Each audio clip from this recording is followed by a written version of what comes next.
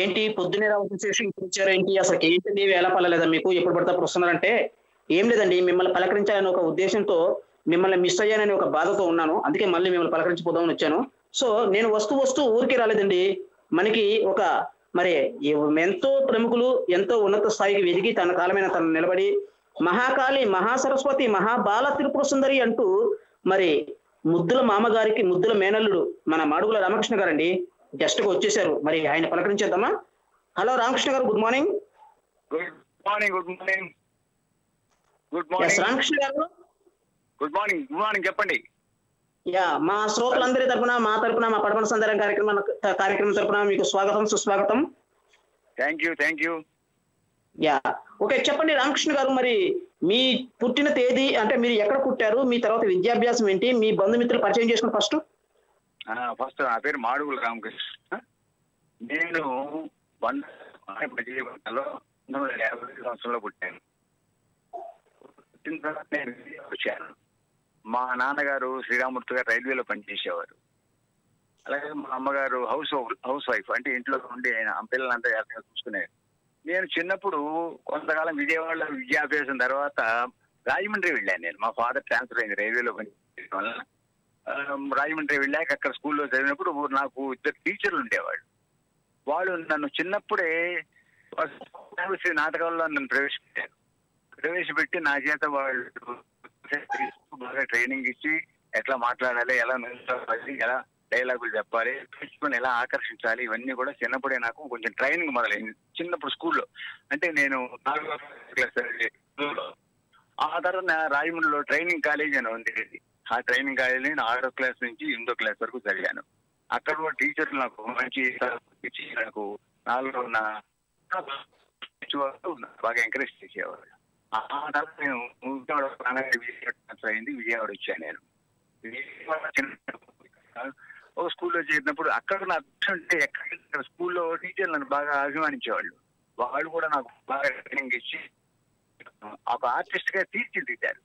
దాంతో నాకు చిన్నప్పటి నుంచి రేడియో వింటాం అనేది ఒక అలవాటు అయింది పైగా చిన్న రేడియోలో పనిచేసే పిల్లల కార్యక్రమం హింస ఒక పెద్ద ఆయన ఉండేవారు. ఆయన మమ్మల్ని అందరినీ కూడా తీసుకెళ్తూ ఉండేవారు రేడియో స్టేషన్ తీసుకెళ్ళి పాటలు పాడండి పద్యాలు మేము వెళుతూ ఉండేవాళ్ళం. రేడియో స్టేషన్కి వెళ్ళి అక్కడ కార్యక్రమాల్లో పాల్గొనడం వలన రేడియో మీద ఒక అభిప్రాయం బాగుందేమో బాగుంటుందేమో అనే ఆలోచన వచ్చింది ఆ తర్వాత విద్యాభ్యాసం నేను విజయవాడ ఎస్ఆర్ సీనియర్ కళాశాలలో చదువుకున్నాను. పంతొమ్మిది డెబ్బై ఒకటి డెబ్బై నాలుగులో నేను డిగ్రీ హోల్డర్. ఆ కాలేజీలో కూడా మా మాస్టర్లు నన్ను బాగా ఎంకరేజ్ చేసి నా చేత నాటకాలు రాయించడాలు నాటకాల వేషాలు వేయించడాలు ఇవన్నీ కూడా చేస్తూ ఉండేవాళ్ళు. అలాగే నాకు నాలో ఉన్నటువంటి కళా సృష్టి అనే వాళ్ళు పాదు కొలిపి నీళ్ళు పోసి మహావృక్షాన్ని చేశారు. ఆ తర్వాత నేను. చదివే హలో వస్తాడా చెప్పండి చెప్పండి మాట్లాడండి. కొంచెం సిగ్నల్ చూసుకోండి. ఉమ్.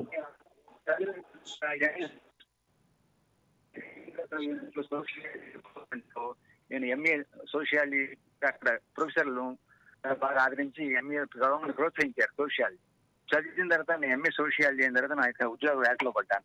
పడినప్పుడు నాకు మామూలుగా ప్రొఫెషనల్స్ లా కాకుండా హైదరాబాద్ ఉస్మానియా యూనివర్సిటీలో నేను స్టెనోగ్రాఫర్ని కూడా ప్రొఫెషనల్ స్టెనోగ్రాఫర్ అంటే బోత్ అయ్యారు టైప్ రైటింగ్ అయ్యి షార్ట్ హ్యాండ్ అయ్యారు. నేను అనుకోకుండా ఒక పోస్ట్కి అప్లై చేశాను. ఉస్మానియా యూనివర్సిటీలో ప్రొఫెసర్ ఉండేవారు. ఆయన వైస్ Hmm. ఛాన్సలర్ దగ్గర తీసుకెళ్ళి నన్ను ఈ అబ్బాయి మనకి పనికొస్తాడేమో చూడండి పరీక్ష పెట్టమన్నారు. పెడితే నేను ఆ Hmm. టెస్ట్లో బాగా చేస్తే ఆ వైస్ ఛాన్సలర్ గారు తన దగ్గరే నన్ను ఉద్యోగంలో పెట్టుకున్నారు. అట్లా నేను ఆమ్, హైదరాబాద్ ఉస్మాన్ యూనివర్సిటీలో వైస్ ఛాన్సలర్ దగ్గర పిఏగా చేరాను.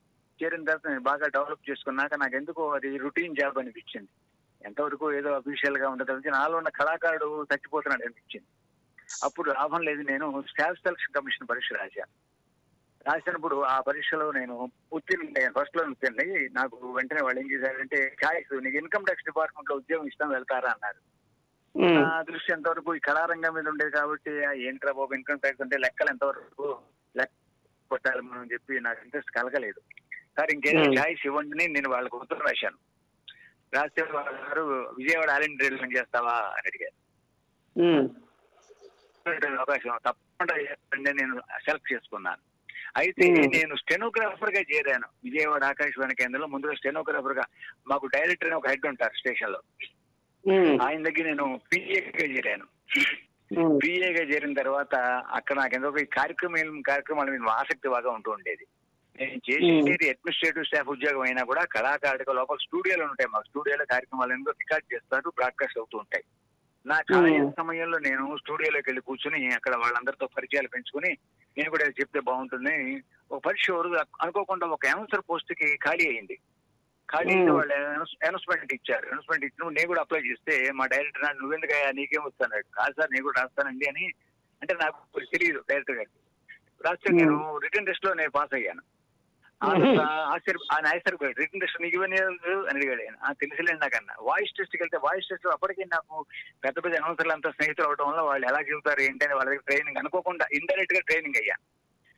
ట్రైనింగ్ అయిన తర్వాత అక్కడ ఆ పరీక్షలో కూడా నెగ్గేప్పుడు మా డైరెక్టర్ ఇంకా ఆశ్చర్యపోయాడు. ఆశ్చర్యం ఏంటంటే మూడు వేల మంది వస్తే రిటర్న్ టెస్ట్లో రెండు వేల మంది ఆ, పక్కన పెట్టి వెయ్యి మంది పాస్ అయితే వెయ్యి మందిలో వాయిస్ టెస్ట్లో ఇరవై మందిని తీశారు. ఆ ఇరవై మందిలో నేను ఒకడిని. ఈ ఇరవై మందికి ఫైనల్. ఇంటర్వ్యూ నిర్- నిర్వహించారు. ఆ ఇంటర్వ్యూస్లో ఇంటర్వ్యూ నిర్వహించినప్పుడు నేను వెళ్ళి ఆ ఇంటర్వ్యూలు కూడా ఫస్ట్ వచ్చాను.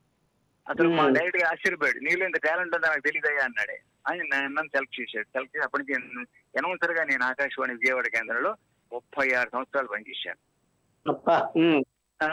మీరు ఆశ్చర్యపోతారు. మామూలు అనౌన్సర్ అంటే ఈ కార్యక్రమాలు వింటారు విన్నారు అని రికార్డ్ ప్లే చేయటాలు వాళ్ళతో మాట్లాడటాలు ఇవి అదొకైతే అయితే కనుక నాలో ఉన్న కళాకారుడు విజృంభించి ఏం చేశాడంటే ఇది కేవలం అందరూ చేసే పని నా నేను విభిన్నంగా ఉండాలని చెప్పి నేనేం చేశానంటే నాకు ఎక్కువ నాటకాల పట్ల ఆసక్తి ఉండే చిన్నప్పటి నుంచి. అందువల్ల నేను నాటకాలు రాయడం నాటకాల వేషాలు వేయడం నాటకాలు నిర్వహించడం ఈ మూడు ప్రక్రియలు విభిన్నంగా ఉంటాయి. ఇవి అందరూ చేసే. పనులు కాదు అవి. దాంట్లో నేను కొంచెం ఇంట్రెస్ట్ చూపించి నేను అలా రచయితగా నటుడిగా నిర్వాహకుడిగా ఆకాశవాణి విజయవాడ కేంద్రంలో అప్పటి నుంచి ఇప్పటిదాకా కూడా మంచి పేరు తెచ్చుకొని నాకంటూ ఒక ప్రత్యేకత నేర్చుకొని సంపాదించుకున్నాను.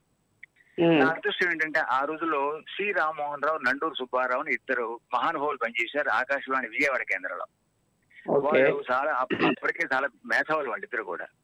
అలాగా. వాళ్ళ సాన్నిధ్యంలో వాళ్ళ గురుత్వంలో నేను శిష్యుడిగా ఎన్నో విషయాలు నేర్చుకుని ఆకాశవాణిలో చాలా మంచి పేరు తెచ్చుకుని క్లీన్ చిట్గా నేను బయటకు రావడం జరిగింది. నేను రెండు వేల పదిహేను సంవత్సరంలో పదవి విరమణ చేసినప్పుడు కూడా వాళ్ళు ఇంకా నాకు అసైన్మెంట్ ఇచ్చి మీరు చేయాలి ఖాళీగా ఉండకూడదు. రండి అని చెప్పి అప్పటి నుంచి ఇప్పటిదాకా నన్ను పిలుస్తూనే ఉన్నారు. వెళ్ళి నేను చేస్తూనే ఉన్నాను. ఇది సూక్ష్మంగా నా గురించి నా గురించి. ఇంకా నాకు ఇతర ఛానల్స్ ఉన్నాయి వెళ్ళి నేను చెప్తాను. ఇప్పుడు మీరేం అడిగితే బాగుంటుందేమో ఆలోచించండి. అంటే ఒకటి ఇప్పుడు మీరు నాటక రంగంలో మీకు మంచి అనుభవం ఉందన్నారు కాబట్టి రచయితగా కూడా ప్లస్ నాటక రంగంలోను నటనలో కూడా మీకు మంచి ఎక్స్పీరియన్స్ అనుభవాలు ఉన్నాయి. సో మీరు మొట్టమొదటిగా నాటకాన్ని ఏ నాటకం రచించారు? తర్వాత అది ఎక్కడ పబ్లిసిటీ చేశారు ఫస్ట్ ఫస్ట్ ఏంటంటే ఇప్పుడు నాటకాలు రెండు రకాలు ఉంటాయి. రంగస్థల నాటకాలు అంటే స్టేజ్ మీద మనం చూసే నాటకాలు ఒకటి. తర్వాత ఆకా ఆకాశవాణిలో నాటకాలు అంటారు శ్రవ్య నాటకాలు అంటారు. అదొకటి. ఈ ఈ రెండు తేడాలు ఉన్నాయి వీటికి. ఎందుకంటే రంగస్థలం మీద ఒక నటుడు వేషం వేసుకొచ్చి స్టేజ్ మీదకి వచ్చి నటిస్తాడు. అతనితో. పాటు కొన్ని క్యారెక్టర్స్ పక్కన క్యారెక్టర్స్ ఉంటాయి. వాళ్ళంతా కూడా నటిస్తారు. అందరు కూడా ఒకే మూడ్లో ఇప్పుడు విషాదం నటించాలనుకోండి అందరూ విషాదం చేయాలి. హాస్యం అనుకోండి అందరూ. హాస్యం చేయాలి. అలాగే ఆ పాత్రలు లీనమైపోవాలంట తెలుగు చెప్పాలంటే లీనమైపోవాలి అనాలి. అలా లీనమవడానికి నేను చాలా కొంచెం వాళ్ళతో పాటు రిహార్సల్స్ చేయాలి ముందు. దాదాపు ఇరవై ముప్పై రిహార్సల్స్ అంటే నెల రోజుల పాటు రిహార్సల్ చేశాక ఆ తర్వాత స్టేజ్ ఎక్కాలి. అదే. రేడియోలో అనుకోండి రేడియోలో అంటే మాకు మూడు రోజులు వ్యవధి ఉంటుంది. రచయిత. రచన చేసి మనకి స్క్రిప్ట్ రాసి మనకి ఇస్తాడు. ఇస్తే మేము. చేయాలంటే అక్కడ కళాకారులు ఎంపిక చేసుకోవాలి. సపోజ్ పది క్యారెక్టర్ ఉన్నాయి. పది మంది కళాకారులు ఎంపిక చేసుకోవాలి. ఓ తండ్రి వేషం ఓ తల్లి వేషం ఓ హీరోయిన్. హీరో పక్కింటి వాడు రిక్షా వాడు ఇలా రకరకాల క్యారెక్టర్స్ ఉంటాయి కదా. వాడి కళాకారులను మేము ఏం చేస్తున్నాం? ఎంపిక ఎంపిక చేసుకుని వాళ్ళకి ముందుగా రిహార్సల్ చేయాలి. వాళ్ళతో రెండు రోజుల పాటు రిహార్సల్ చేయాలంటే స్క్రిప్ట్ చూసి చదవాలన్నమాట ఏ మూడ్లో చదవాలి? చాలా కష్టమైన ప్రక్రియ. రేడియో నాటకం చాలా కష్టమైన ప్రక్రియ. ఎందుకంటే. మంచి మూడ్లో చెప్పాలి. విషాదం ఉందనుకోండి నిజంగా ఏడుస్తున్నట్టుగా చేయాలి. ఆనందం. ఉందనుకోండి పక్కన పక్కన క్యారెక్టర్తో మాట్లాడుతుండగా ఉండాలి. ఇవన్నీ చాలా జాగ్రత్తగా రిహార్సల్ అయితే నాకు పెద్దలు శ్రీరామ్మోహన్ రావు నండు సుబ్బారావు గారు నాకు బాగా ట్రైనింగ్ ఇవ్వడం వలన నేను బాగా అందులో ఆరితేరాను. Okay. అంటే ఇలా రిహార్సల్ చేయడం వాళ్ళందరినీ స్టూడియోకి తీసుకుని మైక్ దగ్గర చూపెట్టి ఆ మైకే మనకి ప్రాణం ఇంకేం ఉండదు మైకుని చూస్తేనే ప్రేమించాలి మైక్ని ద్వేషించాలి మైక్ దగ్గరే విలన్గా నటించాలి అన్ని అలాగా బాగా నేను చేయడం జరిగింది ముందుగా కార్యక్రమం నిర్వాహకుడుగా తర్వాత ఏంటంటే. మీరు అన్నారు కదా మీరు ఏ నాటకాలు వేశారు ఏ నాటకాలు చేశారని చెప్పి నేను మొట్టమొదటిసారిగా ఆకాశవాణిలో యువవాణి అనే కార్యక్రమం ఉంది యువకుల కోసం కార్యక్రమాలు చేస్తుంటారు రోజు చూస్తున్న కార్యక్రమం. యువకుల కోసం వాళ్ళకి చదువులో కానీ ఉద్యోగ ఉద్యోగ విషయాల్లో కానీ లేదా ఎలా ఎలా ప్రవర్తించాలి సంఘంలో కానీ ఇలా రకరకాలైనటువంటి వాళ్ళకి అన్ని టాపిక్స్ చెప్తూ ఉంటాం. అప్పుడప్పుడు రిలాక్సేషన్ కోసం వాళ్ళకి ఏం చేస్తామంటే మేము కొన్ని కొన్ని నాటకాలు సరదాగా నాటకాలు కానీ కవితలు కానీ కథానికలు కానీ అట్లా చేస్తూ ఉంటాం. అలా యువకుల. కోసం నేను ఒక గమ్మత్తైనటువంటి నాటిక రాశాను యువకుల కోసం. రాస్తే ఆ. నాటిక బాగా పేరు వచ్చి ఆ పేరు వచ్చింది నాకు బాగా పేరు వచ్చింది. మరి యాక్టర్స్ ఎవరంటే మా స్టేషన్లోనే కళాకారులు చాలా మంది ఉన్నారు. అదృష్టం ఏంటంటే అనౌన్సర్లు అని ఒక క్యాడర్ ఉంది. అంటే. ప్రోగ్రామ్స్ అప్పుడు ఇప్పుడు విజయవాడ వివిధ భారతి ఎఫ్ఎం అని మూడు సెక్షన్లు ఉన్నాయి. ఆ రోజుల్లో విజయవాడ వివిధ భారతి రెండే ఉండేవి. దాంట్లో పది. మంది పది మంది ఇరవై ఇరవై మంది అనౌన్సర్లు ఉండేవాళ్ళు. ఆ ఇరవై మంది అనౌన్సర్లో పదిహేను మంది రంగస్థల కళాకారులు. సో వాళ్ళకి రంగ రంగస్థలం పైన నటించిన వాడికి రేడియో నటించడం చాలా ఈజీ. ఈ రేడియోలో నటించిన వాడికి రంగస్థలంపై కష్టం. అది గమ్మత్తు. ఆ రెండింటిలో కూడా వాళ్ళు చాలాగా పేరు తెచ్చుకున్న వాళ్ళ దగ్గర నేను సహచరులు వాళ్ళని పెట్టి మిత్రమాను వ్యాసాయాలు వ్యాసాయాలు వాళ్ళ చేత రిహార్సల్ చేయించేస్తే పాపం అందరూ నాకు సహకరించేవాళ్ళు. ముఖ్యంగా మా. గురువు గారు నాకు నండు సుబ్బారావు గారు నేను ఎక్కువ హాస్య రచనలు చేశాను. హాస్య Mhm. రాశాను హాస్య నటుడుగా పేరు తెచ్చుకున్నాను హాస్య కథలు. రాశాను. ఇటీవల నాది డజనున్నర హాస్య కథ అనే ఒక పుస్తకం ఒకటి వెలువరించాను నేను. అంటే పద్దెనిమిది హాస్య కథలు. హాస్యం రాయటం అంటే మామూలు విషయం కాదు. అందరినీ మెప్పించాలంటే మరీ కష్టం. మీరు చూడండి. సినిమాల్లో కూడా హాస్యం ఒక కేవలం పూర్వం సినిమాల్లో ఒక ట్రాక్ లా ఉండేది హాస్యం. ఆ. తర్వాత నా మిత్రుడు జంజాల జంజాల మాకు బాగా పరిచయం నాకు. విజయవాడ ఆకాశవాణి నాటకాలు రాసేవాడు అతను. అతను అతను నాకు చెప్పాడు ఏమయ్యా నువ్వు నన్ను ఎంకరేజ్ అతను ఒకడు. నేను. రాసినటువంటి ముద్దాయి నిర్దోష అనే నాటిక ఆయన చేసి అంటే శ్రీవారికి శోభనం అని ఆయన సినిమా ఆయన డైరెక్షన్లో సినిమా వచ్చింది అవును నరేష్ హీరోగా ఒక సినిమా వచ్చింది శ్రీవారికి శోభనం అందులో నేను రాసింది కామెడీ ట్రాక్గా పెట్టాడు. ఆ సినిమాలో మొత్తం. హాస్యరాజ్ అంతా నాదే. నా పేరు. ఆ, నా మిత్రుడు మాడుగు నాగకృష్ణ కృతజ్ఞతలను కూడా వేశాడు ఆ తర్వాత ఈవి. సత్యనారాయణ గారిని సినిమా డైరెక్టర్ గారు ఆయన కూడా నన్ను గుర్తించి ఆయన సినిమాలో కొన్ని కొన్ని ట్రాకులు నాకు రాయించాడు దీనికి కారణం. ఏంటంటే మా స్టేషన్లో సుత్తి వీరభద్రరావు అనే ఇతను మా స్టేషన్లో పనిచేశాడు మాతో పాటు మాతో పాటు సుత్తి వీరభద్రరావు పనిచేశాడు విజయవాడ ఆకాశవాణి కేంద్రంలో అతను నాలో. ప్రతిభను గుర్తించి ఈ జంజాల వాళ్ళకి చెప్పి నా చేత వేలు జంజాల మన మీ సుత్తి వీరభద్ర వీళ్ళందరూ నా మంచి స్నేహితులు వీళ్ళంతా కూడా అలా. చాలా సినిమాలు నేను నా పేరు కూడా పడకుండా నన్ను కొంచెం గోస్ట్ రైట్ అంటారు ఒకసారి ఈ సినిమాల పేర్లు పడవు మనకి కానీ మన రాసింది. వస్తుంది అలాంటి ఒక అలవాటు అవడం సినిమా రంగంలో అలా ఉంది. అలాగే నన్ను బాగా ఎంకరేజ్ చేశాడు. అయితే రేడియోలో నేను నా ఏంటంటే మా గురువు గారు నండు సుబ్బారావు గారు హాస్య బ్రహ్మ. ఆయన. గణపతి అని ఒక నాటకం రేడియోలో వస్తూ ఉంటుంది. ఇప్పటి కూడా వస్తూ ఉంటుంది. ఓకే. ఒక గంట గంట నాటకం. ఆ నాటకం విని నవ్వని వాడంటూ ఎవడు ఉండడు. దంజాల ఏం చెప్పంటే నవ్వటం ఒక యోగం నవ్వించడం ఒక. భోగం నవ్వలేకపోవడం ఒక రోగం అన్నాడు. కాబట్టి ఆ గణపతి గారి నటించిన సుబ్బారావుకి నేను ఒక ప్రధాన శిష్యుని ఆ రోజుల్లో ఆయన సాహచర్యంలో నేను ఆయన ఆయనతో పాటు నటించాను ఆయనతో పాటు నాటకాలు రాస్తే నన్ను బాగా ఎంకరేజ్ చేశాడు మా గురువు గారు అందుకే నేను. సంసారంలో గుముఖములు అను నాటిక. లక్కీ ఛాన్స్ అనే నాటిక గప్ చుప్ అనే నాటిక సరదా. సంసారం ఇందా మీరు చెప్పారే మామ. భార్య అల్లు అది సరదా సంసారం నాటిక. అలాగే కల కల నిజమాయగా అని ఒక నాటిక అల్లుడు వచ్చాడు. స్వీట్ హోమ్లో హాట్ కేక్స్ గోవింద గోవింద. అల్లుడు గారు అలక చిటపటలు పండగొస్తుంది బహుపరాకు దెబ్బతిన్న సుబ్బారావు పండగ వైద్యం అదిగో పులి చెవిలో పువ్వు ఇలాగా ఇంకా చెప్పుకుంటూ చాలా ఉన్నాయి. ఇవన్నీ కూడా రేడియో నాటికల్ రేడియో నాటికల్. ఇక.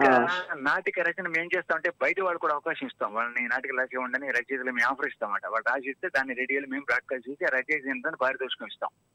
అలాగే. దాదాపు ఒక వెయ్యి నాటకాల్లో నేను బయట వాళ్ళు రాసిన నాటకాల్లో రకరకాల పాత్రలు. అంటే అన్ని హాస్యం కాదు. సీరియస్. కామెడీ అన్ని రకాల పాత్రలు పోషించడం వలన స్క్రిప్ట్ చూస్తే అలవోగ్గా నటించగలిగే శక్తి వచ్చింది వాళ్ళ రోజు ఏ పని. రోజు స్టేషన్కి వెళ్తే నా డ్యూటీ చేసుకోని ఇంటికి వెళ్ళిపోవడం కాదు. చాలా మంది డ్యూటీ చేసి ఇంటికి వెళ్ళిపోతారు. నేను పొద్దున్న పది గంటలకు వెళ్తే రాత్రి పది గంటల వరకు రేడియో స్టేషన్లోనే ఉండేవాడిని. ఉండి మా గురువు గారికి బా- అంటే ఆ రోజుల్లో బాగా నేర్చుకోవాలి మంచి పేరు తెచ్చుకోవాలి నేను ఒక తృష్ణ చేత నేను వాళ్ళ సహచరంలో వాళ్ళు ఏం చెప్తారో అని రోజు కూర్చునే వాళ్ళు రకరకాల నాటకాలు రకరకాల వేషాలు స్టడీ చేసేవాళ్ళం ఆ సహకరించేవాడిని వాళ్ళకి కొన్ని నాటకాలు నేనే. నిర్వహించేవాడిని మాకు. వినో వినోద వలరని. వినోద వలరు హాస్య నాటకాలు ప్రతి- వారం ప్రసారం చేసేవాడు. మాకు పాండ్- పాండురంగాని ఒక ఆఫీసర్ ఉండేవారు ఆయనకి మంచి హాస్య ప్రియుడు ఆయన చేసామంటే ఏమయ్యా వచ్చేవాడు నాటికి ఉంటుంది తొందర రాయి నువ్వు అని పాపం తక్కువ చెప్పేశారు. మరి వచ్చేవాళ్ళు నువ్వు నాటికి ఉందంటే మనకి ఇవాళ నుంచి వేడి పుట్టేది. రాయ బాగా ఉండాలి మా అందరికీ అది శభాష్ అనిపించుకోవాలి దాని మీద కృషి చేసి మంచిగా వచ్చే రచనలు చదివి పెద్దవాళ్ళు అప్పుడు. వాళ్ళ వాళ్ళందరితో సహచర్యం వలన అనుభవం వలన మెల్లిమెల్లిగా రేడియో నాటకాలు వారం కూడా రాసే అవకాశం ఇచ్చాడు ఆయన. ఇవాళ ఇప్పుడు నేను ఇప్పుడు మీకు చెప్పిన నాటకాలన్నీ కూడా నేను అలా వారం వారం రాసినవే. అలాగా నేను ఆ నాటికలో బాగా రాయటం వల్ల నాకు చాలా మంచి పేరు వచ్చింది. తర్వాత ఆ, రేడియో కార్యక్రమాలు పరిచయ కార్యక్రమాలు ఒకటి ఉంటాయి. విజయవాడ రేడియోలో పరిచయాలు చేసేవాళ్ళం. అలా చేసిన వాళ్ళలో కె. విశ్వనాథ్ గారు జంజాల కోట శ్రీనివాసరావు జమున గుమ్మడి బ్రహ్మానందం ఏవిఎస్ బాలసుబ్రహ్మణ్యం కర్మ సుబ్రహ్మణ్యం. ఎల్లారీశ్వరి జానకి వీళ్ళందరినీ కూడా రేడియో స్టేషన్ తీసుకొచ్చి మేము ఒకసారి. కమలాసన్ వచ్చాడు. కమలాసన్ తెలుగు రాదు. ఆయన ఇంగ్లీష్లో. ఇంటర్వ్యూ చేయాల్సి వచ్చింది. అలా ఇంటర్వ్యూ చేసి ఒక. అరగంట సేపు అలాగే జనరంజన కార్యక్రమం ఉండేది మాకు. జనరంజన్. అంటే వాళ్ళని పిలిపించి వాళ్ళకి ఇష్టమైన పాటలు రేడియోలో ప్రసారం చేస్తూ మధ్య మధ్యలో వాళ్ళ చేత మాట్లాడిస్తూ అట్లా అట్లాంటి కార్యక్రమాలు కూడా నేను ఎక్కువ మందిని విజయవాడలో నేను ఇంటర్వ్యూ చేయడాలు పరిచయం చేయడాలు జరిగింది. నాకు కోట శ్రీనివాసరావు బాగా పరిచయం అయ్యాడు. ఎందుకంటే వాళ్ళ తమ్ముడు కోట శంకర్రావు ఉన్నాడు. అతను కూడా. సినిమాలు వేస్తూ ఉంటాడు టీవీలో వేస్తూ ఉంటాడు అతను మా అందరూ మేము ఇంకా నాటకాలు వేసాం మేము బాగా నాటకాలు హాస్య నాటకం ముఖ్యంగా నేను ఎక్కువ హాస్య నాటకాల వేషాలు వేసాను దాదాపు. వంద వరకు హాస్య నాటకాలు నేను వేషాలు వేసాను నేను రాసిన. పక్కన పెడితే హాస్య నాటకం ఆ. రాసిన చాలా కష్టం చేయమే కాకపోతే మాకు సరదా ఉంది కాబట్టి హాస్య నాటకాల ఇంట్రెస్ట్ జంజాల సహచరంలో మేము హాస్య నాటకాలు చేసేవాళ్ళం స్టేజ్ మీద చేస్తే అది కేవలం మన విజయవాడకి గుంటూరుకి పరిమితం కాకుండా. రాష్ట్రేతర ప్రాంతాలకు వెళ్ళాం. హైదరాబాదే కాకుండా మేము గుజరాత్ వెళ్ళాం ఢిల్లీ వెళ్ళాం మెడ్రాస్ వెళ్ళాం కలకత్తా వెళ్ళాం? అక్కడ తెలుగు. అసోసియేషన్స్ ఉన్నాయి. తెలుగు అసోసియేషన్. వాళ్ళు మమ్మల్ని పిలిచి మా చేత హాస్య ప్రహసనాలని వేయించేవాళ్ళు. అంటే టిక్ బిట్స్ ఐదు పది నిమిషాలు జనాన్ని నవ్వించాలి. Scripts hmm. అంటామండి తెలుగు స్క్రిప్ట్స్ అంటాం. అలాంటివి నేను కొన్ని రాసేవాడిని. శ్రీరమణ అని బాపు రమణ గారి దగ్గర ఒక రచయిత ఉన్నాడు శ్రీరమణ. మిథునం మిథునం అనే సినిమాకి రచయిత ఆయనే. ఆయన కొన్ని రాసి ఆయన రాసి ఇచ్చాడు మాకు. రాసిస్తే మా. పాండంగారావు అని మా ఆఫీసర్ ఏం చేసేవాడు? మా- మా అందరు పోగు చేసాం ఒక ఇరవై మందిని కళాకారులు పోగు చేసి ఒక టీమ్గా ఏర్పడి అందులో ముగ్గురు లేడీ ఆర్టిస్టులు. మాకు అదృష్టం ఏంటంటే. రేడియో నాటకాల్లో చాలా మంది లేడీ ఆర్టిస్టులు వస్తారు. వీళ్ళందరినీ కూడా కలుపుకొని మేము ఏం చేసామంటే అనేక ఊళ్ళు వెళ్ళి ఇందాక చెప్పినట్టు మెడ్రాస్ వెళ్ళాము కలకత్తా వెళ్ళాము బరోడా అంటే బరోడా వెళ్ళాము అట్లా అన్ని చోట్లకి వెళ్ళి ఢిల్లీ వెళ్ళాము పోయి అక్కడ వాళ్ళ ముందు హాస్య ప్రదర్శన చేసేవాడు హాస్యానికి ఆనందించిన వాడు ఎవడు ఉంటాడు అందరు నవ్వుతారు కదా. నవ్వి బాగా రిసీవ్ చేసుకునేవాడు మమ్మల్ని. దాంతో నాకు హాస్యం మీద బాగా మక్కువ ఏర్పడి నేను సినిమా రంగంలో కూడా వెళ్ళే గానీ అక్కడ మనం ఉండలేము. కొంతకాలం ఉద్యోగం చేస్తూ అది చేయటం అనేది రెండు పడవ మీద కాళ్ళు వేయటమే అందుకే నేను. సినిమా రంగంలో ఉండలేక నేను ఉండలేక మనకి ఇది సరిపడదులే అని చెప్పి వచ్చేసాం. వచ్చేసాక నేను అయితే నా ఇంకొక ప్రక్రియ ఏంటంటే ఒక రోజు ఒక కార్యక్రమం చేస్తున్నారు. పెద్ద కార్యక్రమం పెద్దవాళ్ళు. ఆ కార్యక్రమం నడిపించే వాళ్ళు ఎవరు లేకపోవడంలో వాళ్ళు పాపం ఒకళ్ళ మొహాలు చూసుకుంటున్నారు. ఆ టైంలో నేను. వెళ్ళి నేను నడిపిస్తాను ఈ కార్యక్రమాన్ని వ్యాఖ్యాతగా నేను ఆ కార్యక్రమం నడిపించాను. అప్పటికి నాకు గద- గదవాళ్ళు నాకు వ్యాఖ్యాతగా పేరు పడిపోయి అసలు నటుడు. రచయిత అవన్నీ వెనక్కి వెళ్ళిపోయి నేను వ్యాఖ్యాతగా దాదాపు ఒక రెండు వేల మూడు వేల కార్యక్రమాలు నేను విజయవాడలో వ్యాఖ్యానం చేస్తాను ఇప్పుడు కూడా. వ్యాఖ్యానం. ఎవరు చేస్తారు బాగా అంటే రామకృష్ణ నేను పిలిపించి ఎవరికి ఎంతవరకు వెళ్ళిందంటే సీఎం గారి ప్రోగ్రామ్స్ కూడా నేను వ్యాఖ్యానం చేయటువంటి స్థాయికి వెళ్ళింది. అందువల్ల నేను సూపర్. చాలా మందికి పరిచయం ఉన్నాను నేను పరిచయం. ఉండడం నేను విజయవాడలో అనేక ఊళ్ళల్లో కూడా మేము వ్యాఖ్యాతగా వెళ్ళటం జరిగింది జరిగింది అలాగే నాకు హాస్యం మీద మక్కువతో పెద్దవాళ్ళు మీ హాసం అనే క్లబ్ హాసం. అంటే హాస్యం సంగీతం ఇప్పుడు కూడా దాదాపు ఎనిమిది సంవత్సరాలు తొమ్మిది సంవత్సరాల నుంచి నడుస్తోంది. అది విజయవాడలో ప్రతి నెల మూడో శనివారం సాయంత్రం ఆరున్నర దగ్గర నుంచి ఎనిమిదిన్నర దాకా రెండు గంటలు మాత్రమే. ఆ సంస్థ ఆ- క్లబ్ పేరు. అంటే మనకి బొంబాయిలో కలకత్తాలో చాలా మంది కంపెనీ ఉద్యోగులంతా బాగా ఎవరి పనులు వాళ్ళు బిజీ బిజీగా ఉంటే వాళ్ళు మధ్యాహ్నం పూట వన్ అవర్ జనాన్ని పిలిపించి నవ్విస్తారు అక్కడ ఒక నాలాంటి పిలిచి నాకు జోకులు తెప్పించి నవ్విస్తారు అన్నమాట ఎందుకు? రిలాక్స్ అవ్వాలి. రిలాక్స్. కంపెనీలో పనిచేయాలి అలాగా చాలా తక్కువ ఉన్నాయి క్లబ్బులు. అలాంటి క్లబ్బులు. హైదరాబాద్లో వరప్రసాద్ రెడ్డి గారిని ఒక ఆయన ఉన్నాడు శాంతా బయోటిక్స్. ఆయన. స్టార్ట్ చేశాడు హైదరాబాద్ స్టార్ట్ చేసి అది విజయవాడకి ఏలూరుకి నూజివీడికి గదవాడకి తర్వాత విశాఖపట్నం రకరకాల హాసం క్లబ్బులు వెలిసాయి Hmm. విజయవాడ హాసం క్లబ్కి నేను అధ్యక్షుడిని. కమలాకాంత్ అని కమలాకాంత్ ఒక ఆయన ఎలక్షన్ పనిచేసి ఆయన కన్వీనర్గా ఉంటూ మేము ప్రతి నెల మూడో శనివారం నాడు క్రమం తప్పకుండా ఎనిమిది సంవత్సరాల నుంచి వస్తున్నాం. ప్రతి ప్రతి నెల కూడా మేము మేము హాస్యం జోకులు చెప్పించడం చిన్న చిన్న శాసనాలు వేయించడం ఆడవాళ్ళ చేత పాటలు పాడించడం అలా రకరకాల దాదాపు దాదాపు వంద మంది వస్తారు. Two hours. ఎక్కువ ఉంటుంది మళ్ళీ. ఆ టూ అవర్స్లో మీ అందరినీ కూడా అలరించి మంచి మంచి జోకులు చెవి మంచి శాసనాలు చేసి వాళ్ళని ఆనందించి ఇంటికి పని చేస్తుంటాం. అట్లా క్లబ్. మెయింటైన్ చేస్తాం విజయవాడ మేము. దాంట్లో. నాకు మంచి పేరు వచ్చింది. ఒక అధ్యక్షుడిగా పేరు మేము ప్రతి సంవత్సరం కూడా దానికి ఏం చేస్తాం? యానివర్సరీ చేస్తూ ఉంటాం. చేసినప్పుడు సినిమా సినిమాలో మంచి హాస్యనటుడు బ్రహ్మానందాన్ని చుట్టూ అలా వాళ్ళని గుండు హనుమంతున్నప్పుడు నా ఫ్రెండ్ మంచి ఫ్రెండ్ గుండు హనుమంతరావు బాబు. పెద్ద- పెద్దవాడు అతను కూడా. మాతో పాటు. నాటకాలు వేసాడు పాపం. ఈ మధ్య కాలధర్మం చెంది అనుకోండి. అలాగా. అతను అలా సినిమా వాళ్ళందరినీ పిలిచి వాళ్ళని సత్కరించి వాళ్ళని చీఫ్ గెస్ట్గా పిలుస్తూ అలవాటు చేసామాట విజయవాడ. అలాగా మంచి. హాస్యం హాస్యం మీద ప్రాణం హాస్య కథలు నేను పుస్తకంగా తీసుకొచ్చాను దాన్ని. దాదాపు Hmm. చాలా మంది చదివి బాగుంది చాలా బాగుంది బాగున్నాయండి అనేవాళ్ళు. తర్వాత. ఇంకొక విషయం ఏంటంటే నేను ఆకాశవాణి విజయవాడ కేంద్రం గురించి రెండు ముక్కలు మనం చెప్పుకోవాలి ఈ సందర్భంలో. పంతొమ్మిది వందల నలభై ఎనిమిదిలో ఆకాశవాణి విజయవాడ కేంద్రం ఆవిర్భవించి దాదాపు అరవై డెబ్బై ఏళ్ళ దాకా వెళ్ళిపోతున్నారు ఇప్పుడు. ఇంకా నడుస్తూనే ఉంటుంది. ఇప్పుడు అందులో మంచి ఉషశ్రేణి ఒక ఆయన రామాయణ భారతాలు చెప్తూ ఉండేవాడు. ఆ, అలాగే నటు సుబార్ హాస్య నాటకాలు ఇవన్నీ కూడా గుర్తుంచుకోదగ్గ విషయాలు అన్నమాట. అలాగే ఎవరికి రానటువంటి అవార్డులు ఆకాశవాణి విజయవాడ కేంద్రానికి పది పది జాతీయ అవార్డులు వచ్చాయి. జాతీయ అవార్డులు ప్రతి సంవత్సరం Hmm. ప్రతి సంవత్సరం ఏం చేస్తారంటే ఆకాశవాణి పోటీలు పెడతారు. అనేక- విభాగాల్లో. ఒక నాటకమే కాదు రూపకాలు సంగీత రూపకాలు అలా అన్ని అన్ని. క్యాడర్స్లో వాళ్ళు పోటీలు పెడతారు. ఆ పోటీలు పెట్టినప్పుడు మా స్టేషన్కి ప్రతి సంవత్సరం ఎంట్రీస్ ఉండేవి. కంపల్సరీగా ఎంట్రీస్. విజయవాడ కేంద్రం నుంచి వచ్చినంటే డబ్బు జాగ్రత్త పడతాను రా అని మిగతా స్టేషన్ వాళ్ళు అనుకునే స్థాయిలో పది. సంవత్సరాల పాటు ఒకే వ్యక్తి పది సంవత్సరాల పాటు అది కూడా అనౌన్సర్గా పనిచేసినటువంటి ఎస్పి శ్రీరామమూర్తి అనేటువంటి వ్యక్తి ఆకాశవాణి విజయవాడ కేంద్రానికి జాతీయ అవార్డుల పంటను పండించాడు. పంటను పండిస్తే ఢిల్లీలో కూడా ఆకాశవాణి విజయవాడ కేంద్రం అంటే వాళ్ళ అమ్మో ఏదో మంచి ప్రోగ్రామ్ వస్తుంది అని విని వింటూ ఉండేవాడు. అలాగే నా దృష్టి ఏంటంటే ఒక రెండు సంవత్సరాలు నేను కూడా ఆకాశవాణి యాన్యువల్ కాంపిటీషన్స్కి పంపించి రెండు సంవత్సరాలు ఒక సంవత్సరం నల్లని వాడు అనే నాటికి నాకు జాతీయ అవార్డు వచ్చింది. ఇంకో సంవత్సరం నాడబంధం అనేటువంటి కార్యక్రమానికి వచ్చింది. ఇంకో సంవత్సరం. రైలు ప్రయాణం అనే నాటకానికి వచ్చింది.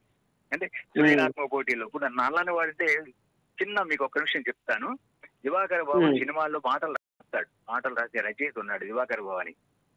గుంటూరు వాస్తవుడు దివాకర్ బాబు. ఆయన నల్లని వాడని నాటికి రాశాడు. ఆ నాటికి ఏంటంటే. ఒక తల్లికి ఇద్దరు పిల్లలు ఉంటారు. ఓ పిల్లవాడు అన్నాడు నల్లగా ఉంటాడు ఓ పిల్లవాడు తెల్లగా ఉంటాడు. వాళ్ళ నాన్నకి ఏమో Mhm. నల్లవాడు అంటే అసహ్యం. పాపం ఈ తెల్లగా ఉన్న పిల్లాడు ఏం చేస్తా తమ్ముడు నల్లగా ఉన్నాడు నెట్ ఆయన తెలుపు చేయాలని చెప్పి వాళ్ళ అమ్మమ్మ ఇంటికి వెళ్ళినప్పుడు వాషింగ్ మిషన్ పెడతారు వాడు ఇందులో మురికి బట్టలన్నీ తెల్లగా అవుతుంటే వాడు చూసి తమ్ముడు కూడా అందులో వేసి ఆన్ చేస్తాడు అది పాపం ఆ. చచ్చిపోతాడు పిల్లడు. అది ఈ దివాకర్ బాబు అనే అతను రాశాడు. రాస్తే. దాన్ని పంతొమ్మిది వందల పంతొమ్మిది వందల ఎనభై ఐదో సంవత్సరంలో దాన్ని నా జాతీయ పోటీలు పంపించి ఆనాటికి నేనే చేశాను నేనే రికార్డ్. చేసి పంపిస్తే నిర్వహించాను నేను మా దాంట్లో కోకా సంజీవరావు అని ఒక మహానటుడు ఉన్నాడు ఉండేవాడు అనవసరం ఇప్పటికి హైదరాబాద్లో. ఉన్నారు ఆయన అలాగే వివి. కనకదుర్గ ఒక ఆర్టిస్ట్ ఉండేది వాళ్ళిద్దరు నటించారు అందులో దానికి. ఆ విన్నవాడంతా కంట పెట్టుకున్నారు జిడ్జీలంతా ఏడ్ చేశారు ఈనాటి వినేసి అమ్మ ఇలాంటి కట్టకూడదు బాబు అని చెప్పి అందులో. దుర్గ గారు ఆవిడ నిజంగా తన ఎట్లా ఏడుస్తుందో అట్లా ఏడిచిందండి. నీళ్ళు ఆపలేకపోయినా అసలు రికార్డింగ్ అయినా ఆపలేకపోయినా నేను. ఆవిడ దానికి జాతీయ అవార్డు వచ్చింది నాకు. తొంభై ఐదు సంవత్సరంలో నా రైలు ప్రయాణం నాటకానికి వచ్చినాడు తర్వాత ఎనభై మూడులో నాదబంధం అనేటువంటి నాటకాన్ని ఒక సృజనాత్మక రూపకానికి అవార్డు వచ్చాయి అంటే అంటే నా గురించి గొప్పని చెప్పుకోవడం కాదు కానీ రేడియోలో పనిచేయడం కేవలం కాకుండా నేను కొన్ని మంచి మంచి కార్యక్రమాలు చెప్పాక రేడియో నాటకాలు కానీ రూపకాలు కానీ ఇవన్నీ కూడా నేను తయారు చేసి జనంలోకి వెళ్ళి మంచి రచయితగా మంచి నటుడిగా మంచి. తర్వాత నాకు బాపు గారు అంటే చాలా ఇష్టంగా ఉండేది. బాపు గారు సినిమా దర్శకుడు బాపు గారు ముళ్ళపూడి వెంకటరమణ. ఆ ముళ్ళపూడి వెంకటరమణ గారు బుడు అని చిన్న కథ రాశారు ఆ రోజుల్లో బుడుగు దాని పేరు. చిన్న పిల్లాడు చిన్న పిల్లాడు వాడు చాలా తమాషగా మాట్లాడుతుంటాడు. మంచి యాక్టివ్ పిల్లడు అని నేను స్టేజ్ నాటకంగా రాసి గుంటూరులో ఓ పిల్లవాడు ఉన్నాడు శ్రీహన్ అని పిల్లాడిని పట్టుకున్నాను పట్టుకుని స్టేజ్ మీద మాకు ప్రతి సంవత్సరం నవంబర్ పద్నాలుగు పిల్లలు కార్యక్రమం చేస్తాం. పుట్టినరోజు సందర్భంగా. ఆ సందర్భంగా ఈ పిల్లవాడిని పట్టుకుని నేను అద్భుతంగా నాటికని పి- బుడుగు అనే నాటికని స్టేజీకి అనుగుణంగా మార్చి దాని స్టేజ్ మీద నిర్వహించాను. దానికి మంచి పేరు వచ్చింది. మ్మ్. చాలా మంది నా టీచర్లు హెడ్ మాస్టర్లు నేను కనిపించారు యానివర్సరీకి ఏదైనా నాటకం రాసింటారు అంటూ ఉండేవారు. అప్పుడు. ఏం చేశాను ఆ అనుభవంతో పేరు మర్చిపోయా పెద్దలు జాగ్రత్త అందరూ ఒకటే నిజాయితీ బ్యాంకు తస్మా జాగ్రత్త అత్తికాడి సమస్య దుంబు మోడర్న్ బుడబక్కలవాడు ఇలాంటివన్నీ ఏకపగాను నాటికలుగాను రాసి అవి కూడా పుస్తకాలుగా వేసి నేను పంచిపెట్టాను స్కూళ్ళకి. ఓకే సూపర్ అండి. మనతో పాటు ఆత్మీయులు ఒకరు మాట్లాడటానికి రెడీగా ఉన్నారు. హలో నమస్తే అండి. నమస్తే నమస్తే ఎవరు? హలో నమస్తే అండి. నమస్తే చెప్పండి. చెప్పండి sir. Ramakrishna garu good morning అండి. శేషి గారు. లోవరాజ్ గారు గుడ్ మార్నింగ్ మనకి రామకృష్ణ గారు మాడుగుల రామకృష్ణ గారు రెడీ ఉన్నారు. మాట్లాడండి. నమస్తే సార్ రామకృష్ణ గారు. నమస్తే నమస్తే. మీ పేరు? నా పేరు లోవరాజ్ అండి. వైజాగ్ నుంచి ఫోన్ చేస్తున్నాను సార్. ఆ, నమస్తే రోజు గారు. బాగున్నారా? ఆ, బాగున్నాను సార్. చెప్పండి సార్. అదే. మిమ్మల్ని ఒకసారి పలకరిద్దామని చేశాను. తప్పకుండా తప్పకుండా. వింటున్నారా? మా ఇంటర్వ్యూ వింటున్నారా? వింటున్నాను సార్ వింటున్నాను. మిమ్మల్ని శేషి గారిని ఒకసారి పలకరించి వెళ్ళిపోదామని ఒకసారి చేశాను అనమాట తప్పకుండా. గారు? కోచింగ్లు అంటే నేను పూర్తిగా వినలేదండి. అంటే మామూలుగా ఇంటర్వ్యూ చేస్తున్నారు కదా ఒకసారి పలకరిద్దామని చేశాను అనమాట. ఎందుకంటే మ్యా మ్యాటర్ తెలియకున్న. రెడీ అనౌన్సర్ అండి. All India radio Vijayawada announcer. Okay okay. తర్వాత నాటక రంగాల్లోనూ లలిత ఆ, తర్వాత జానపద సంగీతాలలోనూ మంచి అనుభవజ్ఞులు. అయితే సార్. ఈ జానపదం అనగానే జానపద గీతాలు ఉంటాయి కదండి అవి చాలా బాగుంటాయి. వినడానికి. నేను ఆకాశవాణి ఆకాశవాణిలో వింటూ ఉండేవాడినమాట. అంటే అప్పటికి. మనకి ఈ రేడియోలతో టచ్ లేదు ఓన్లీ ఆకాశవాణి ఉండేది అప్పుడులో అవును అవును ఆ దాంట్లో మంచి జానపద గీతాలు అనగానే అదొక మ్యూజిక్ వచ్చేది. చాలా బాగుండేది. మీకు వీలైతే ఒక్క జానపద గీతం వినిపించండి నేను వింటుంటాను రేడియోలో. ఓకే. రామకృష్ణ గారు. రామకృష్ణ కంటిన్యూ చేయండి. ఆ, అలాగే ఆ తర్వాత ఏంటంటే పిల్లల కోసం నేను చాలా స్కూళ్ళలో చెప్పాక ఇందాక హెడ్ మాస్టర్ మాస్టర్లు వచ్చి నన్ను పిల్లల కోసం మంచి నాటికలు రాయమంటే పిల్లల కోసం నేను కొన్ని ఏకపాత్రలు నాటికలు రాశాను అనమాట అలాగే అతను రోజు ఏమైందంటే ఒక రోజు నన్ను జంధ్యాల దగ్గర వేలు గారు మీకు గుర్తున్నాడు కదా సినీ కమిడియన్ వేలు. అతను నన్ను ఓ రోజు పిలిచి తమ్ముడు అర్జెంట్గా నాటిక వేయాలి ఎల్లుండి ఏమన్నా స్క్రిప్ట్ ఉందా నీ దగ్గర? అని అడిగాడు. అంటే నా దగ్గర లేదు కానీ అన్నయ్య ఓ నాటిక నేను రాస్తాను ఇవాళ రాత్రి రాత్రి పొద్దున నీకు ఇస్తాను ఉమ్, వెరీ గుడ్ అని చెప్పి తను ఒక చిన్న సబ్జెక్ట్ చెప్పాడు నాకు లైన్ చెప్పాడు. ఆ లైన్. చెప్తే ఆ లైన్ నేను డెవలప్ చేసి రాత్రి రాత్రి రాసి మన్నాడు పొద్దున్నే పదింటికల్లా తీసుకెళ్ళి అతనికి ఇస్తే ఆశ్చర్యపోయాడు. ఇంత స్పీడ్గా రాసేవా అన్నాడు. ఆ, నేను మళ్ళీ రాయమన్నావు కదా అని చెప్పి. ఏమాత్రం పేషెన్స్ లేని వ్యక్తి వేలు. వేలు అసలు పేరంటే కురుమద్దాలి లక్ష్మీ నరసింహారావు అతని పేరు. సన్నగా ఉండేవాడు వేలులా ఉండేవాడు. తర్వాత వేణు అతను అతను రాయమ్మ అంటే రాసిన నాటిక పేరు ముద్దాయి నిర్దోషి ఆ నాటిక పేరు. ముద్దాయి నిర్దోషి. అంటే. ఒకే ఒకే పేరు గల వ్యక్తులు ఒక ఇంట్లో ఉంటారు. ఒకటి పేరు నారాయణమూర్తి నరసింహమూర్తి.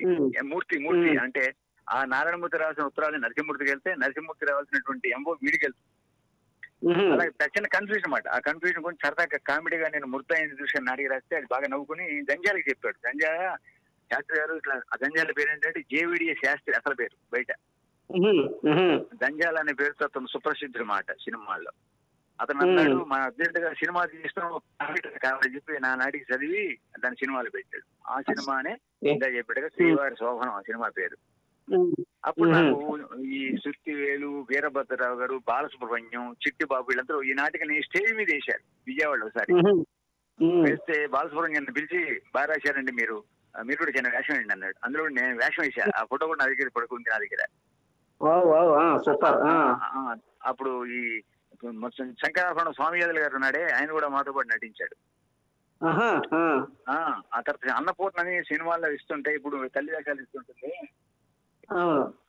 ఆవిడ పేరు ఉమ అసలు పేరు ఉమ తెనాలి ఆవిడ. ఆవిడ విజయవాడలో ఉంటుంది ఆవిడతో పాటు మేము నాటకాలు అవి కూడా.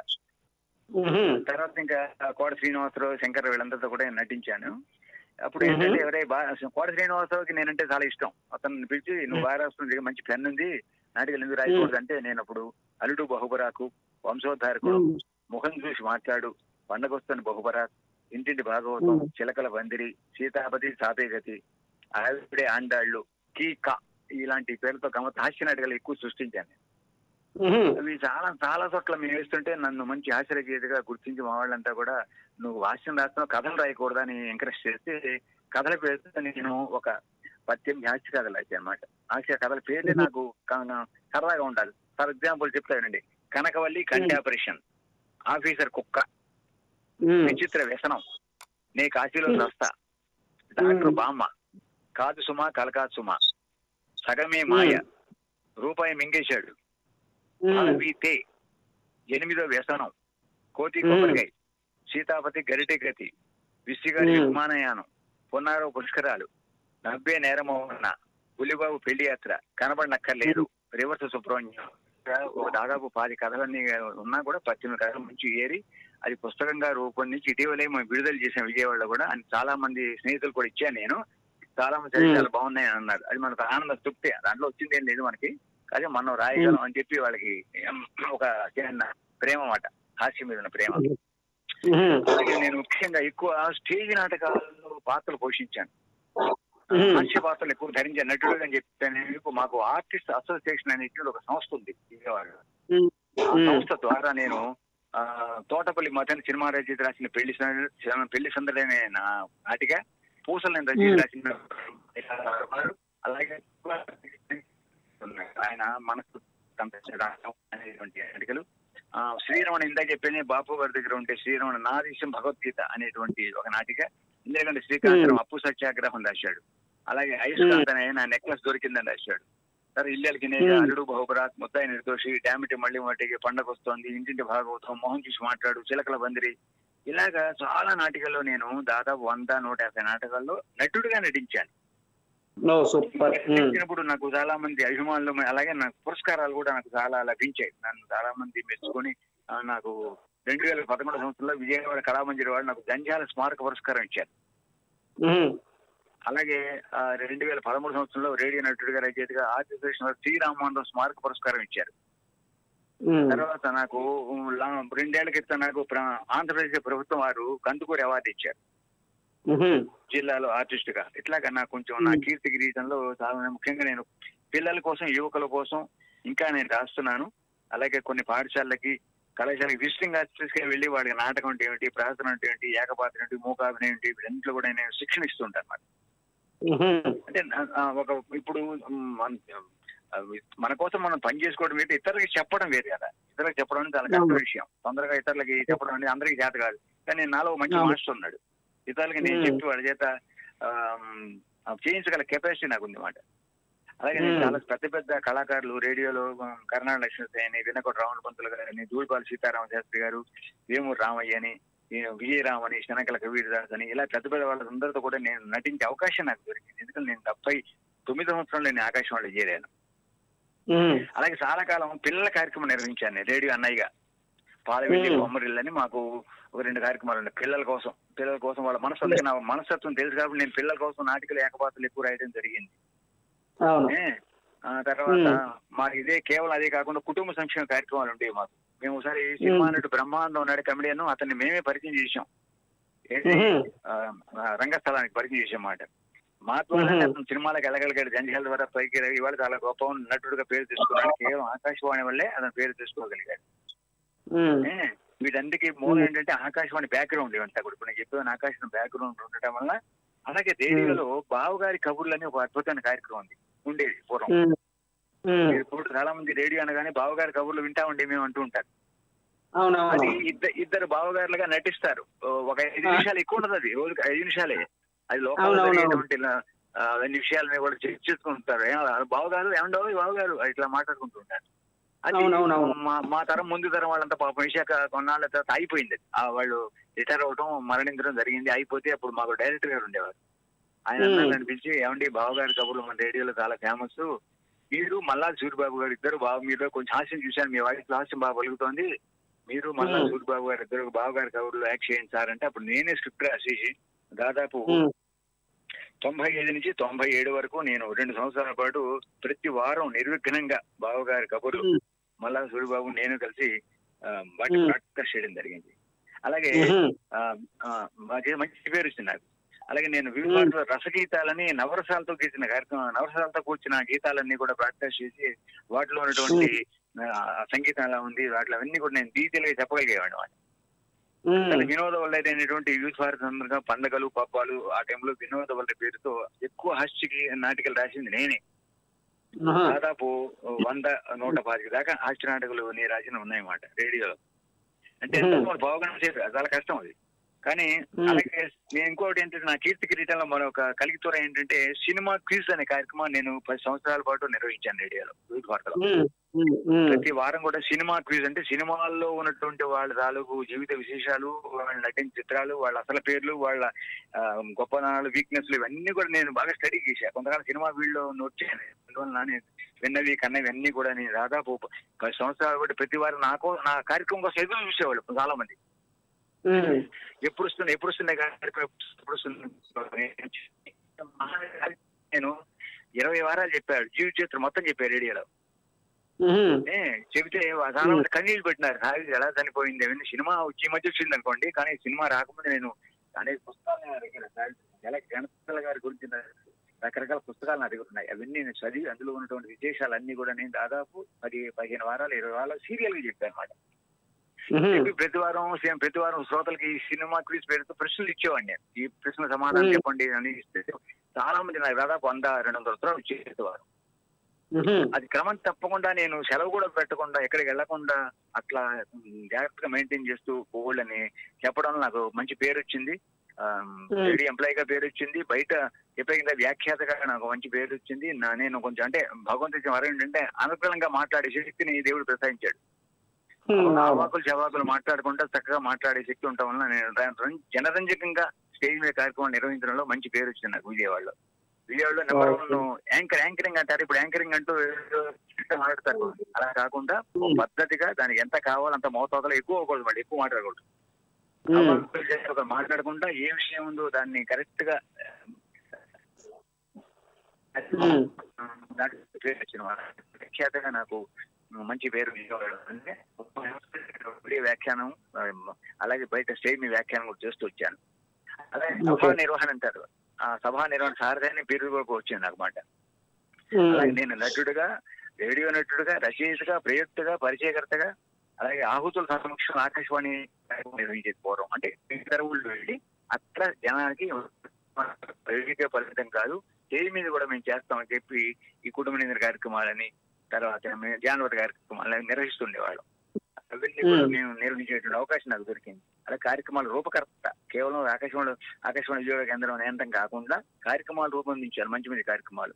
అలా వాటికి అలాగే వార్షిక బహుమతులు గీత ఒక్క మాట చెప్పాలంటే ఆకాశంలో అన్ని విభాగాలు పనిచేశాను పిల్లల కోసం యువకుల కోసం కార్మికుల కోసం కుటుంబ సంక్షేమ కార్యక్రమాలు సంగీత సాహిత్య జానపద కార్యక్రమాలు నాటకాలు రూపకాలు సినీ పరిచయాలు విశిష్ట రంగాల ప్రముఖుల పరిచయాలు కథా రచయితగా. బావగారిగా మృదుసో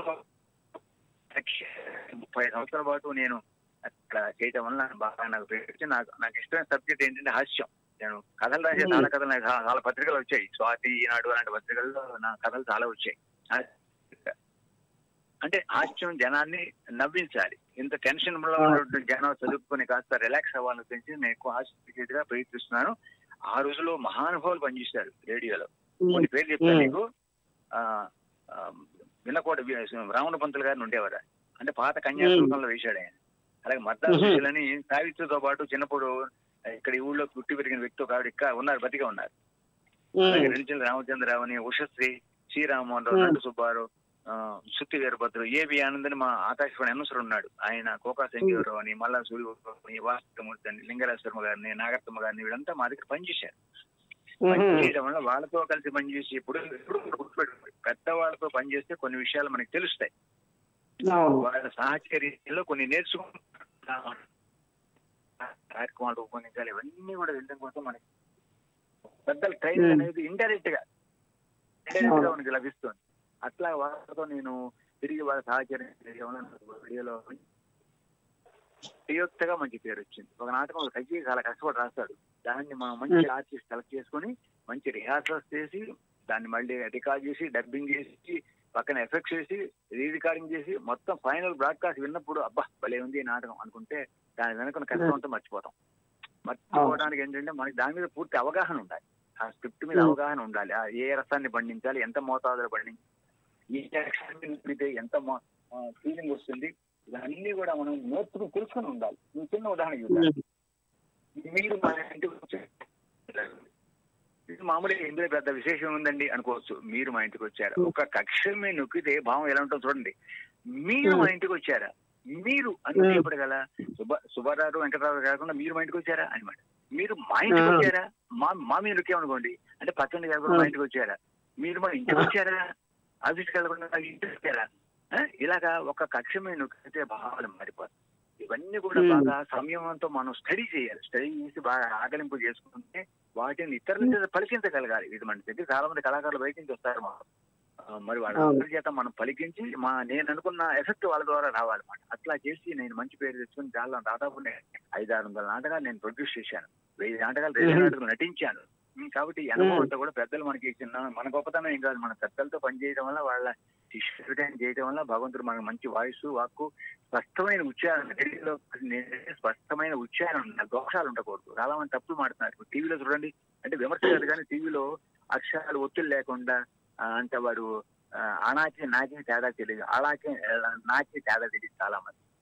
కళ కళ అని రెండు ఉన్నాయి కళ అంటే డ్రీమ్ కళ అంటే ఆర్ట్. రెండు చూడండి. రెండు ఒకేలా అన్నాం అనుకోండి ఏం తెలుస్తుంది? ఇట్లాగా మొక్క ఉండ- ఉండటం వల్ల నేను చాలా మందికి అందుకే నేను చాలా స్కూల్లోకి వెళ్ళి పిల్లలకి అప్పుడప్పుడు చిన్న చిన్న పాఠాలు చెబుతా. ఎలాగంటే ఫ్రీ ఫ్రీగా పాఠాలు చెబుతా. అక్షరాలు ఎలా పలకాలి ఎలా మాట్లాడాలి ఎంత అందంగా మాట్లాడాలి మీరు కూర్చోండి. మీ నాన్న- మీ నాన్న కూడా ఉన్నారా బాబు? అంత మర్యాద.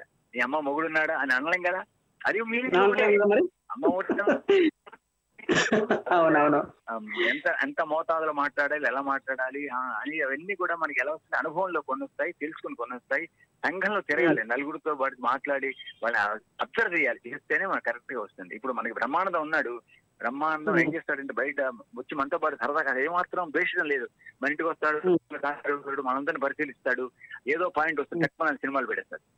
అలా వినయంగా మాట్లాడుతున్నాడు. కోట శ్రీనివాసరావు ఉన్నాడు చాలా మేధావి. నన్ను వచ్చి అప్పుడు అరే చూడరా చూడరా చేస్తాను. చూడరా సినిమాలో ఎలా చేస్తాను ఉందా చేస్తాడు. నేను లేకపోతే ఇట్లా బాగుంది కొంచెం తిప్పు ఇది అంటే వింటాడు మన దగ్గర. ఆ వీడియో నాకు చెప్పేది అనుకోడు. ఇవన్నీ కూడా. ఏంటంటే ఇప్పుడు తెలుసుకోవాలి. ఇప్పుడు తెలుసుకోవడంలో తప్పు లేదు. అన్ని మన అవును. పుట్టుకతో రావు. నేను ఇప్పుడు రేడియోలో టెంపరీగా పనిచేసి పిల్లలు ఉన్నారు మా దగ్గర విజయవాడ కేంద్రంలో. దాదాపు ఎనభై తొంభై మంది ఉన్నారు. వాళ్ళందరికీ నేను ట్రైనింగ్. ఇచ్చా చాలా మందికి ట్రైనింగ్. ఇచ్చేవాడిని నేనే. సీనియర్ వల్ల. అప్పుడు వాళ్ళు ఒకటే. చెప్పారు మీకు తెలియపోవడం తప్పు కాదు. ఇక్కడికి వచ్చాక తెలుసుకోండి. ఈ రంగంలో మీరు ప్రవేశించాక ఆకాశవాణి రంగంలో తెలుసు తెలియక వచ్చారు వచ్చినప్పుడు ఎలా ఉండాలి అన్ని తెలుసుకోండి. నాకు అన్ని. వచ్చాయి అనుకోకండి. తెలుసుకోండి. అని వాళ్ళందరూ నేను ట్రైనింగ్ ఇచ్చి దాదాపు వారం పది రోజులు ట్రైనింగ్ ఇచ్చి స్టూడియో తీసుకెళ్ళి అక్కడ ట్రైనింగ్ ఇచ్చి మిషన్ దగ్గర ఇవన్నీ చేస్తూ చాలా మంది ఎప్పటికే మంచి మంచి నా మాట చాలా మంది బాగా చేస్తూ ఉంటారు ప్రోగ్రామ్స్ అన్ని అట్లాగే మేము ఇందాక మా స్టేషన్లో కూర్చుమని ఒక అమ్మాయి ఉంది. అమ్మాయి యూత్ పార్క్లో చాలా మంచి పేరు తెచ్చుకుంది. ఆవిడ మా హీరోయిన్ ఆవిడ. హాస్య నాటకాల్లో. నాకు హీరోయిన్ ఆవిడ అమ్మాయి. ఇది గమ్మత్తుగా మ్మ్. అమ్మాయి ఎక్కువ- నవ్వుతూ ఉంటుంది అమ్మాయి.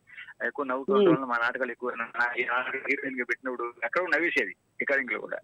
అంటే నవ్వు బాగా ఆవిడ. కామెడీ. బాగా నేను అంతా నాటకట్టుకుని చాలా బాగుందండి. ఆ మంచి వేషాలు ఉండేవి కొన్ని. కామెడీ డై హీరో వేషం ఉండనుకో అమాయకంగా ఉంటాడు వాడు. ఆ డైలాగ్ చెప్పడం పెద్దవాళ్ళ దగ్గర ట్రైనింగ్ అవడం వల్ల నాకు మంచి పేరు వచ్చి ఇవాళ మాడుగుల రామకృష్ణ అంటే మాకు తెలుసండి మా- అని మా పెద్దవాళ్ళు అందరు నన్ను తిరిగి గుర్తుపడతారు. మాడతారు చాలా మంది మీరు విన్నాను సార్ మీరు చాలా సార్లు రేడియోలో మీకు విన్నా పేరు విన్నామండి అనేవాళ్ళు. అంతా కూడా భగవంతుడి వల్ల అలా నడుస్తుంది. ఇప్పుడు కూడా నేను టెంపరీగా మళ్ళీ ఆకాశవాణిలో పని చేస్తున్నాను కానీ ఇంకో ఉద్యోగం డ్యూటీ ఆఫీసర్ అని వేరే ఉద్యోగం చేస్తున్నాను. అయినప్పుడు కూడా. ఎవరన్నా సరిగ్గా మాట్లాడకపోయినా వార్తలు తప్పులు జరిగిన వెళ్ళి నేను అంత సరిదిద్దుకుంటా వాళ్ళని. అమ్మ మన రేడియో అన్నం పెట్టాడు. సంస్థ మంచి పేరు వచ్చింది మనం. జనాలు మంచిగా బాగా చెప్పాలి కానీ మనం తప్పు చెప్పకూడదని వాళ్ళందరికీ నేను చెప్తూ ఉంటాను. అట్లాగే జన్మని అలాగా సృష్టిస్తాడండి. నాకు అన్ని నా అదృష్టం అంటే నాకు మంచి గురువులు దొరికారు. ఓకే. సో రామకృష్ణ గారు. సరే ఇప్పుడు. ఇప్పుడు మీరు నటించిన ఒక నాటికలో నేను ఒక డైలాగ్ చెప్తాను. ఆ డైలాగ్లో మరి మీ మామగారు క్యారెక్టర్లు ఎవరు ఉన్నారు? తర్వాత మీ వైఫ్ క్యారెక్టర్లో ఒక హాస్య వ్యక్తి ఉన్నారు. వాళ్ళు ఎవరు చెప్తారా? చెప్పకుండా. మహాకాళి మహాసరస్వతి మహా బాల త్రిపుర సుందరి అని చెప్పేసి వస్తారు కదా మీకు మామగారు. అవును. అవునవును. అక్కడ మీ వైఫ్గా నటించిన వాళ్ళు ఎవరు తర్వాత మీకు మామగారు క్యారెక్టర్లో ఎవరు వచ్చారండి? నా మామగారు ఎవరంటే నాకు చాలా ఇష్టమైన పేరు మహాలక్ష్మి మహాకాళి మహాసరస్వతి బలాచిపడుతున్నది అది నేను నా నాటకాలు ప్రతి నాటకం హీరోయిన్ నా నాటకాలు ఎక్కువ పెట్టాను నేను. అది మాకు. మల్లా సూర్యబాబుని మా స్టేషన్లో ఒక ఆయన ఉన్నాడు. మల్లా సూరిబాబు. ఆయన చాలా పెద్ద సంగీత కళాకారుడు. ఆయనకి నాదం గురించి పక్కన పెడితే చాలా గొప్ప సంగీత కళాకారుడు. మన భారతదేశం గర్వించే సంగీత కళాకారుడు. ఆయనకి అయితే ఆయనకి ఈ రావణింగ సినిమా వచ్చినట్టు రావణింగ ప్రభావం ఆయన మీద పడింది. పడి ఆయన అప్పుడప్పుడు ఆ, అన్నయ్య కాస్త నువ్వు వచ్చి డైలాగ్ చెప్పంటే "ఆ, నీ చెప్పండి నాకు రాను అని అనకుండా వచ్చి చెప్పేవాడు. దాన్ని చాలా ఇంప్రూవైజ్ చేసేవాడు ఆ డైలాగ్. అతను ఈ మల్లా. సూరిబాబు ఈ మామగారు వేషం ఇచ్చాడు నా హీరోయిన్ చెప్పారు. మీకు కుసుమ. నవ్వుల రాణి కుసుమ. తను నా భార్య కింద నటించింది నేనేమో భర్త కింద నటించాను. ఆనాటికి అప్పటికి ఇప్పటికి కూడా ఎన్నిసార్లు బ్రాడ్కాస్ట్ అయినా చాలా మంది నాకు ఉత్తరాలు రాసుకుంటారు ఫోన్ చేస్తారు అనమాట మహాలక్ష్మి మహాకారి మహాసరస్వతి మహాత్రుడు సుందరి అంటుంటాడు వచ్చానమ్మా మీ నాన్నగారు వచ్చాను అది అది. రామకృష్ణ గారు ఏమయ్యా అల్లుడు? మరి ఆడపిల్ల తర్వాత ముగ్గులు గట్ల వేసుకోదా అంటే అంటారు కదా. అందులో ఆ మాట ఎందుకు అంటున్నారు ఆయన? ఆ అమ్మాయి ఏం చేసింది? తెల్లవారు ముగ్గురిని ముగ్గులేస్తారు రమ్మని చెప్పి రాత్రి పైన మొదలెట్టింది తెల్లవారు నాలుగు దాకా ముగ్గులు వేస్తూనే ఉంది. వీధి వీధిని తడిసేది నేనేమో కరెక్ట్ కాపాడుకుంటున్నాను మూడు పక్కన. మామగారిని పిలిపించి మామగారు మామగారు మీ అమ్మాయి ఏం చేసి చూశారంటే అడగతున్నానా కామాత్రి చేయకుండా అంటే ఎలాగా అంటాడు మాట తర్వాత మార్నింగ్ సినిమా చూడాలి అని చెప్పేసి అక్కడ సినిమా గురించి కూడా మీకు డైలాగ్స్ బాగుంటాయి. తర్వాత- చెప్పండి చెప్పండి. చెప్పండి సార్. సాక్ష్యం అనేది జీవితం నుంచి పుడుతుంది. ఇప్పుడు మీరు కూడా చూడండి సంఘంలో మీరు చాలా మంది గమ్మత్తుగా మాట్లాడేవాళ్ళు ఉంటారు కొంతమంది. ఉమ్, కొంతమందికి నచ్చి వచ్చి సరిగా మాట్లాడలేవు కదా కొంతమంది హాస్యంగా మాట్లాడతారు కొంతమంది అమాయకంగా మాట్లాడతారు. ఇవన్నీ మనకి ఇన్స్పిరేషన్. చూసినప్పుడు దిద్దుకోవాలి కానీ మీలో ప్రతి క్షణం మీలో ఒక హాస్యం కనిపిస్తూ ఉంటుంది సంఘంలో మన నలుగురితో తిరిగినప్పుడు ఎక్కడో తోడు ఎవడో మాడితే మనకి నవ్వుస్తూనే ఉంటుంది. అది అదే హాస్యం. అది స్వచ్ఛమైన హాస్యం మాట అది. తెచ్చుకున్న హాస్యం కాదు పిచ్చి పిచ్చి సినిమాల్లో కొన్ని పిచ్చి హాస్యాలు ఉంటాయి. అవన్నీ ఆ, కొంత వర్కౌట్ అవ్వవు కానీ కొన్ని కొన్ని మంచి మంచి సంఘటనలు మన జీవితంలో మన నవ్విస్తాయి అన్నమాట అదే సరైన హాస్యం. ఒకసారి జంజాల్ని సినిమా డైరెక్టర్ జంజాల్ ఒక ఆయన అడిగాడు. ఏమంటే జంజాల్ గారు హాస్యం అంటే ఏమిటి? ఎలా ఉండాలండి అంటే అతను అదే ఒకటే మాట చెప్పాడు జంజాల్. గుర్తొచ్చినప్పుడల్లా పక్కపక్క నవ్వుకోవాలి. మన ఇప్పుడు మీరు. నవ్వారు ఇంత నా నాటకంలో డైలాగులు మీరు చెప్పి నవ్వారు ఏ? మీరు గుర్తొచ్చినప్పుడల్లా మీరు ఎన్నిసార్లు గుర్తొచ్చినా నవ్వుతారు కదా మీరు? అదే అదే అదే అదే నిజమైన హాస్యం జంజాల ఒక చక్కటి సమాధానం చెప్పాడు. రామకృష్ణ గారు రామకృష్ణ గారు. చివరిగా మా శ్రోతల కోసం ఒక మంచి పాట మీ నోట. నేను గాయకుడిని కాదంటే నేను నేను. మంచి భోజనం నేను పాటలు పాడేవాడిని కాదు కానీ మాటల వ్యక్తినే నేను. మీ నుండి మా శ్రోతల కోసం ఒక మంచి జోకు. చెప్పమంటారా? ఉమ్, దక్కుని మీరు అనగానే వెంటనే రావు కానీ నాకు ఒక జోక్ ఏంటంటే కొంచెం ఆలోచించుకుని చెప్పే సమయం లేదు కదా మరి వెంట వెంటనే అంటామంటే నాకు. అది డైలాగ్ వాళ్ళ తిరుగుతూ ఉంటుంది. ఆ, ఒక ఆవిడ పాపం బరువు తగ్గాలని చెప్పి బాగా ఎనభైకి బరువు ఉంది ఆవిడ.